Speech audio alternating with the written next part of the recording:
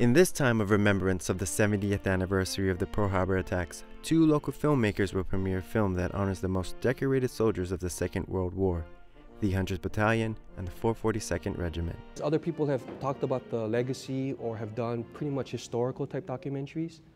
I wanted to do something a bit more personal. Presenting a film like this in this way was the best way to even, in our own way, give our thanks, you know, because it's, it's such an amazing story. Oz and John followed the 100th and the 442nd on recent trips to ceremonies in France and Washington, D.C.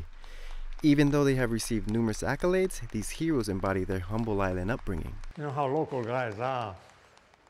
They're very uh, reluctant to tell about themselves, you know. When they gave me all this medal, I said, what the heck is this thing for, you know? I didn't do anything that remarkable. As years go by, the sense of capturing and telling of these stories encourage the veteran heroes to share their life-changing experiences. The original 100th members are all over 90 years old, so time was of the essence. There were 1,432 of us, but now, today, I, I don't know officially how many people still uh, are left you can talk to. Through film and the stories of veterans like Mr. Ikuma, younger generations will forever have an understanding of what these brave men did. They had no idea, especially the younger generation, of, of what we went through.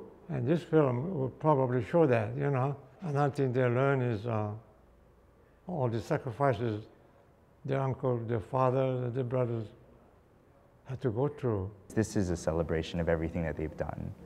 So, you know, when, what is any celebration without some heart behind it? I'm glad that people are beginning to understand, not in every detail maybe, but generally speaking, what we did. This medium that folks are using uh, would tell and preserve what we went through. But I'm glad I lived long enough to uh, be able to accept this recognition. If you would like to watch the film and participate in the celebrations, visit www.congressionalgoldmedalhawaii.com. To all the families and veterans of the 100th Battalion and the 442nd Regiment, mahalo. This is Kaino Rudolfo for Oiwi TV. Aloha.